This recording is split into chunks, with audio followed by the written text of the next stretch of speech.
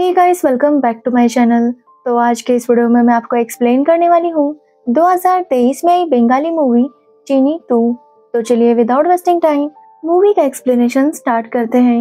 Movie start होती है चीनी नाम की लड़की से जो स्कूल में पढ़ती है। एक्चुअली चीनी काफ़ी ज़्यादा शाय थी, जिसकी वजह से वो ज़्यादा किसी से बात नहीं करती थी।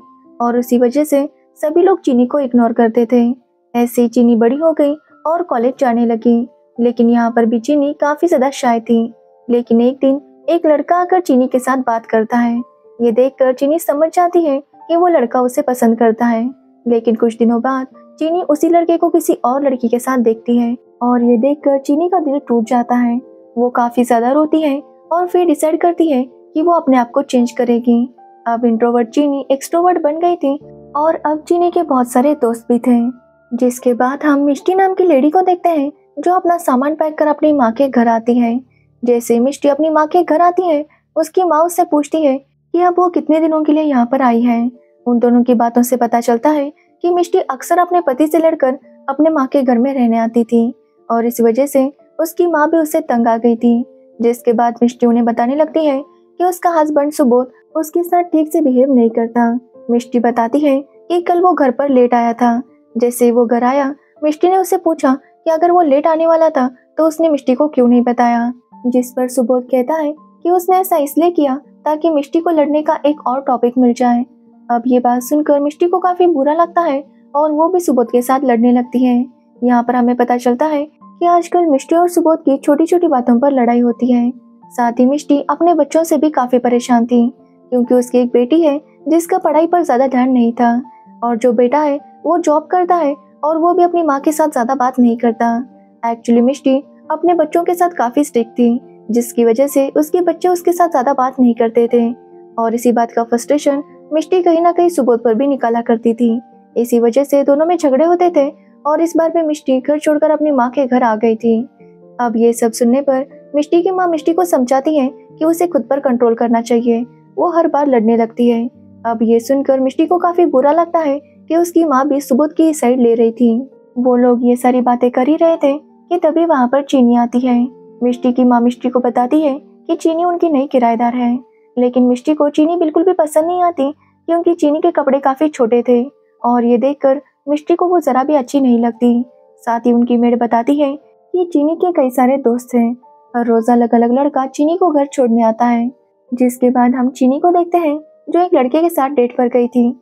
लेकिन वो लड़का चीनी को प्रपोज करता है, जिस पर चीनी कहती है कि वो डेट तो कर सकती है, लेकिन वो रिलेशनशिप में नहीं आ सकती। एक्चुअली चीनी को किसी बात का डर था, इसलिए वो रिलेशनशिप से हमेशा भागती थी, जिसके बाद चीनी अपने घर पर जाकर काम करने लगती है। लेकिन वो काम कर नहीं पा रही थी, क्योंकि मिष्टी ने टीवी का आवाज़ काफ़ी तेज रखा था। इसलिए चीनी मिष्टी के घर में आती है और टीवी ऑफ़ कर देती है। वो मिष्टी से कहती है कि वो स्लीपिंग पिल खाकर सो जाए। अब ये बात सुनकर मिष्टी को गुस्सा आता है क्योंकि उसका कहना था कि चीनी कौन होती है, उसे एडवाइस देने वाली तो चीनी उससे कहती है कि मिष्टी जिसके बारे में सोचकर इतना परेशान हो रही है, वो अपने घर में आराम से सो रहा होगा। इसलिए मिष्टी को भी सो जाना चाहिए, ना कि ये सब ड्रामे करने चाहिए ये बोलकर चीनी वहाँ से चली जाती है। अब दूसरे दिन चीनी जब जॉगिंग से वापस आती है तो फिर से उसकी मिष्टी के साथ थोड़ी बहस हो जाती है, जहाँ पर मिष्टी का कहना था कि चीनी को पूरे कपड़े पहनने चाहिए। अब ये बात सुनकर चीनी मुस्कुराती है और उसे भी कुछ बातें सुना देती है, जिसके बाद मिष्टी कहती है कि चीनी की माँ ने उसे अच्छे संस्कार नहीं दिए। जिस पर चीनी कहती है कि जब वो चार साल की थी, तभी उसकी माँ ने काफ़ी सारे स्लीपिंग पिल्स खा लिए और वो उसे छोड़कर चली गई। अब ये सुनकर मिष्टी को काफ़ी बुरा लगता है कि उसे चीनी को ऐसा नहीं कहना चाहिए था। जिसके बाद हम चीनी को देखते हैं, जो अपने ऑफ़िस गई थी। एक्चुअली चीनी एक स्टाइलिस्ट है और वो एक नई साड़ी डिज़ाइन कर रही थी। लेकिन उसके बॉस को उसका काम बिल्कुल भी पसंद नहीं आ रहा था। जिसकी वजह से चीनी काफ़ी परेशान थी। जिसके बाद हम सैमी नाम की लड़की को देखते हैं, जो अपनी गर्लफ्रेंड मौसमी की वजह से काफ़ी परेशान था। एक्चुअली सैमी मौसमी से बहुत प्यार करता था, लेकिन वो उसे बहुत ज़्यादा ग्रांटेड ले रही थी। जब भी वो उसे कॉल करता, वो उसके साथ बात नहीं करती। जब उसे पैसे चाहिए होते, तभी बस उसके साथ बात करती थी, जिसकी वजह से सैमी काफ़ी टेंशन में था और वो इस बारे में अपने दोस्त को बताता है। तो वही सैमी के दोस्त का यही कहना था कि सैमी को ब्रेकअप करना चाहिए। लेकिन सैमी मौसमी से इतना प्यार करता था कि वो उसे छोड़ नहीं पा रहा था। अब रात को जब चीनी काम कर रही थी, तभी उसके पास मिष्टी आती है। मिष्टी अब चीनी को पसंद करने लगी थी, इसलिए वो उसे सारी बातें बताने लगती है। एक्चुअली मिष्टी को शक था कि सुबोध का किसी लड़की के साथ अफेयर चल रहा है, जिसकी वजह से मिष्टी सुबोध पर बहुत ज़्यादा गुस्सा थी। अब ये सब सुनने पर चीनी मिष्टी से कहती है कि उसे खुद को बदलना होगा। उसे अपने हस्बैंड और बच्चों को ज़्यादा इम्पोर्टेंस नहीं देना चाहिए। सबसे पहले मिष्टी को ये भी याद रखना चाहिए कि उसकी खुद की भी कुछ लाइफ है। इसलिए मिष्टी को अपनी लाइफ भी अपनी मर्ज़ी से जीनी चाहिए। इसलिए चीनी मिष्टी को जिम लेकर जाती है ताकि मिष्टी कुछ टाइम खुद के लिए भी निकाल सके। लेकिन वहाँ जाने पर मिष्टी काफ़ी जल्दी थक गई थी। जब वो दोनों जिम से वापस आ रहे थे तो मिष्टी उसे अपने और सुबोध के बारे में बताने लगती है कि किस तरह उन दोनों को प्यार हुआ और फिर उन्होंने शादी की। शादी के बाद इतने सालों तक वो बहुत ज़्यादा खुश थे, लेकिन अचानक उनका रिलेशन काफ़ी बदल गया। अब ये सब सुनने पर चीनी मिष्टी से कहती है कि उनका रिलेशन इसलिए बदल गया होगा क्योंकि वो दोनों बदल चुके हैं। चीनी मिष्टी से कहती है कि पहले मिष्टी अपने हस्बैंड के साथ मूवी देखने जाती थी। वो दोनों एक दूसरे के लिए वक्त निकालते थे, लेकिन अब जिम्मेदारियों की वजह से उन दोनों ने एक दूसरे के लिए वक्त निकालना ही बंद कर दिया है और शायद इसी की वजह से उनका रिलेशन ऐसा हो गया होगा। वो दोनों ये सब बातें कर ही रहे थे कि तभी मिष्टी देखती है कि सुबोध किसी लड़की के साथ बात कर रहा था और ये देखकर मिष्टी काफ़ी गुस्सा हो जाती है। वो सुबोध के पास जाकर उससे पूछने वाली थी, लेकिन चीनी उसे रोक लेती है, जिसके बाद वो देखती है कि सुबोध उस लड़की को हक करता है। ये देखकर तो मिष्टी बहुत ज़्यादा गुस्सा हो गई थी, लेकिन चीनी किसी तरह से उसे शांत करवाती है, जिसके बाद वो मिष्टी को घर लेकर आती है और मिष्टी से कहती है कि अब वो उसका मेकओवर करेगी और मिष्टी को भी डेट पर जाना चाहिए और नए दोस्त बनाने चाहिए। अब मिष्टी इसके लिए मना कर रही थी, लेकिन चीनी और अपनी माँ के कहने पर वो मान जाती है, जिसके बाद चीनी मिष्टी का मेकओवर करती है और उसे एक आदमी के साथ डेट पर भेजती है। लेकिन मिष्टी वहाँ पर काफ़ी अनकंफर्टेबल फील कर रही थी, इसलिए वो बीच में से ही वहाँ से चली आती है, जिसके बाद हम चीनी को देखते हैं, जो अपने दोस्तों के साथ कैफ़े में बातें कर रही थी। लेकिन तभी वहाँ पर चीनी की कोई आंटी आती है और चीनी को बातें सुनाने लगती है कि किस तरह उन्होंने चीनी को बड़ा किया है और अब चीनी उन्हें कॉल नहीं करती। अब ये बातें सुनकर चीनी काफ़ी अनकंफर्टेबल फील करती है और वो अपनी आंटी से कहती है कि वो यहाँ पर मीटिंग के लिए आई है। इसलिए ये बोलकर चीनी जाकर सैमी के पास बैठ जाती है। एक्चुअली सैमी वहाँ पर मौसमी से मिलने आया था, लेकिन मौसमी ने प्लान कैंसिल कर दिया था, जिसकी वजह से सैमी काफ़ी हर्ट था। जैसे ही उसके पास चीनी आती है तो वो सैमी को सब कुछ बताती है कि जब तक उसकी आंटी वहाँ से नहीं जाती, वो यहाँ पर बैठना चाहती है और सैमी भी इसके लिए मान जाता है। जिसके बाद सैमी को मौसमी का कॉल आता है और वो उससे पैसे मांग रही थी। ये देखकर चीनी आवाज़ लगाने लगती है और मौसमी को शक होता है कि कहीं सैमी किसी लड़की के साथ डेट पर गया है और इसी बात पर वो सैमी के साथ लड़ने लगती है।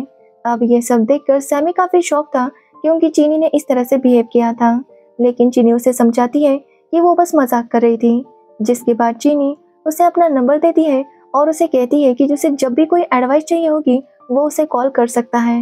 जिसके बाद हम मिष्टी के पति और उसके बेटी को देखते हैं, जो मिष्टी की जाने की वजह से काफ़ी ज़्यादा परेशान थे। वो जला हुआ खाना खा रहे थे, क्योंकि अच्छा खाना उन्हें बनाना नहीं आता था। सुबोध मिष्टी को कॉल भी करता है, लेकिन मिष्टी उसके साथ ज़्यादा बात नहीं करती। ये देखकर सुबोध को काफ़ी बुरा लगता है। एक्चुअली सुबोध को लगा था कि इस बार भी मिष्टी अपने माँ के घर कुछ दिनों के लिए जाएगी और वापस आ जाएगी, लेकिन इस बार उनका झगड़ा काफ़ी ज़्यादा सीरियस हो गया था। तो वही हम मिष्टी को देखते हैं जो अब पूरी तरह से बदल गई थी। वो चीनी के साथ बाहर घूमने जाती और काफ़ी ज़्यादा एंजॉय करती। एक दिन हम चीनी को देखते हैं, जो टैक्सी से कहीं पर आ जाती है। लेकिन उसके पास कैश नहीं था, इसलिए वो टैक्सी ड्राइवर को यूपीआई पेमेंट करना चाहती थी। लेकिन उस टैक्सी ड्राइवर को कैश चाहिए था, इसलिए वो चीनी के साथ लड़ने लगता है। अब तभी वहाँ पर सैमी आता है और टैक्सी वाले के पैसे दे देता है। अब ये देखकर चीनी काफ़ी खुश हो जाती है और वो सैमी के साथ फ्लर्ट करने लगती है। यहाँ पर हमें पता चलता है कि चीनी सैमी को पसंद करने लगी थी। जिसके बाद जब चीनी घर आती है तो उसके पापा का उसे बार बार कॉल आ रहा था और चीनी उनके साथ ठीक से बात नहीं कर रही थी। अगले दिन चीनी अपने पापा से मिलने जाती है, क्योंकि उसके पापा ने उसे किसी डॉक्यूमेंट पर साइन करने के लिए बुलाया था। वहाँ जब चीनी जाती है तो उसके पापा अपने काम में ही बिज़ी थे। वो चीनी से ज़्यादा बात नहीं करते और वहाँ से चले जाते हैं। ये देखकर चीनी को काफ़ी बुरा लगता है। चीनी जब घर पर वापस आती है तो वो बहुत ज़्यादा रोने लगती है। तभी उसके पास मिष्टी आती है और वो चीनी को शांत करवाती है, जिसके बाद चीनी मिष्टी को सब कुछ बताने लगती है। एक्चुअली चीनी जब चार साल की थी तो उसकी माँ का मिसकैरेज हो गया था, जिसकी वजह से उसकी माँ डिप्रेशन में चली गई थी और वो काफ़ी ज़्यादा टैबलेट्स ले रही थी।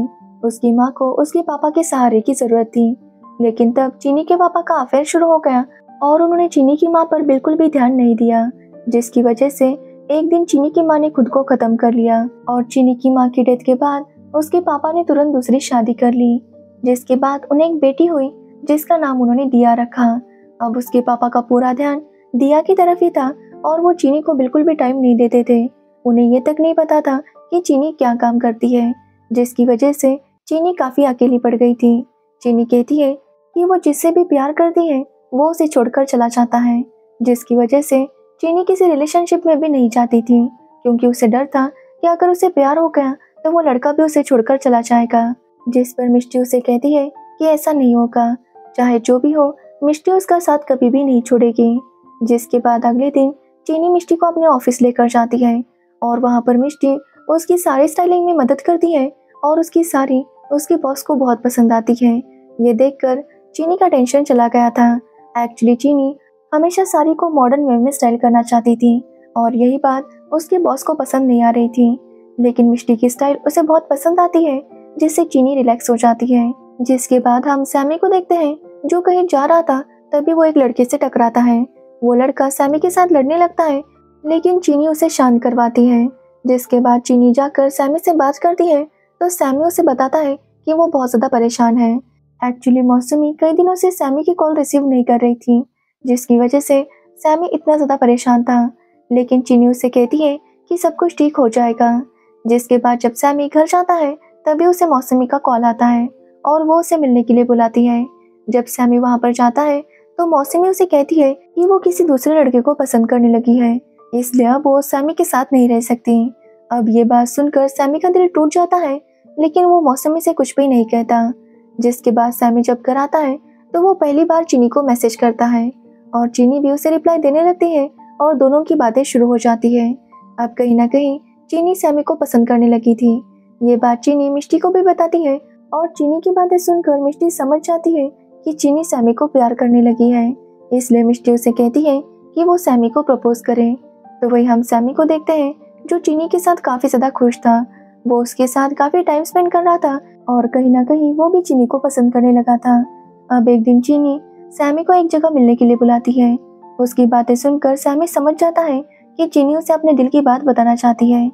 लेकिन जब सैमी वहाँ पर जाने के लिए तैयार हो रहा था, तभी उसके पास मौसमी आती है और उसे रोककर बताने लगती है कि उसका ब्रेकअप हो गया क्योंकि उसका बॉयफ्रेंड उसे चीट कर रहा था। और अब मौसमी को समझ आ गया था कि वो सैमी से ही प्यार करती है। अब ये सब सुनकर सैमी कंफ्यूज हो जाता है कि वो क्या करे। मौसमी उसे लेकर बाहर जाती है, लेकिन सैमी का मन उसके साथ नहीं लग रहा था। इसलिए वो मौसमी को बता देता है कि वो उससे प्यार नहीं करता। ये बोलकर सैमी वहाँ से निकल जाता है। तो वही हम चीनी को देखते हैं, जो सैमी का इंतज़ार कर रही थी। लेकिन सैमी वहाँ पर नहीं आता तो उसे ऐसा लगता है कि सैमी उससे प्यार नहीं करता। इसलिए जब वो वहाँ से जा रही थी, तभी वहाँ पर सैमी आता है और चीनी को बताता है कि वो उससे बहुत प्यार करता है। अब ये सुनकर चीनी भी काफ़ी इमोशनल हो जाती है और वो उसे हक करती है। जिसके बाद हम मिष्टी को देखते हैं, जो सुबह से मिलने गई थी।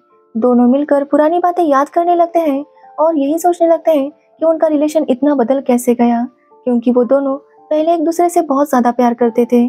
शायद वो प्यार आज भी उनके बीच में था, बस थोड़े से हालात बदल गए थे। ये देख कर मिष्टी की बेटी प्लान करती है कि वो उनकी एनिवर्सरी सेलिब्रेट करेगी। इसलिए वो सबको एक जगह बुलाती है ताकि सब लोग मिले और ये सारा झगड़ा खत्म हो जाए। जब मिष्टी वहाँ पर सबके साथ मिल रही थी, तभी वहाँ पर उसका बेटा भी आता है। और यहाँ पर हमें पता चलता है कि सैमी एक्चुअली मिष्टी का ही बेटा है और उसका नाम समर्थ है। सैमी वहाँ पर चीनी को भी लेकर आया था और चीनी और मिष्टी जब एक दूसरे को देखती है तो वो काफ़ी ज़्यादा शौक थी।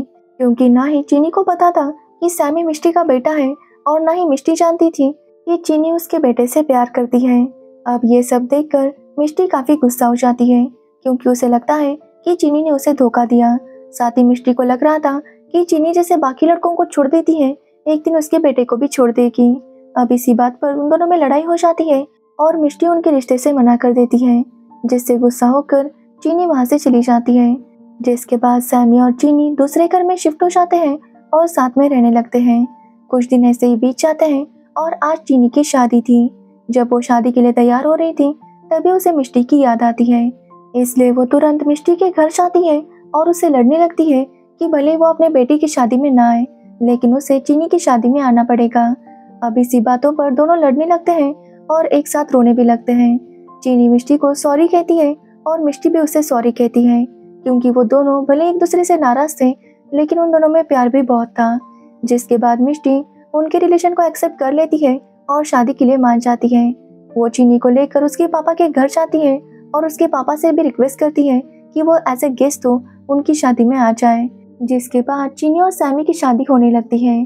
तभी मिष्टी के पास सुबोध आता है और उसे माफ़ी माँगता है। सुबोध उसे बताता है कि डेढ़ साल पहले उसकी नौकरी चली गई थी, जिसके बाद वो एक एमएलएम कंपनी में जॉब करने लगा था। वो ब्यूटी प्रोडक्ट्स बेचता है, इसलिए वो अपने क्लाइंट से मिलता रहता है। और ऐसे एक क्लाइंट के साथ मिष्टी ने उसे देख लिया था और मिष्टी को लगा था कि शायद वो सुबोध की गर्लफ्रेंड है। अब ये सब सुनकर मिष्टी का भी शौक थी, क्योंकि उसे पता ही नहीं था कि उसके हस्बैंड की जॉब चली गई थी। सुबोध उसे ये भी बताता है कि वो फाइनेंशियल क्राइसिस से गुजर रहा था और इसी वजह से वो मिष्टी को टाइम नहीं दे पा रहा था। अब ये सब सुनकर मिष्टी भी समझ जाती है कि उसे भी सुबोध को समझना चाहिए था और वो दोनों ही एक दूसरे को माफ़ कर देते हैं। जिसके बाद चीनी और सैमी की भी शादी हो जाती है और अब मिष्टी चीनी की सास बन गई थी। लेकिन वो दोनों फैसला करते हैं कि वो दोनों हमेशा दोस्त बनकर रहेंगे और इसी के साथ ये मूवी एंड हो जाती है।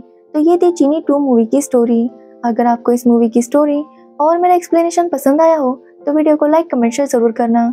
और मेरे चैनल को सब्सक्राइब करना बिल्कुल मत भूलना। Thanks for watching video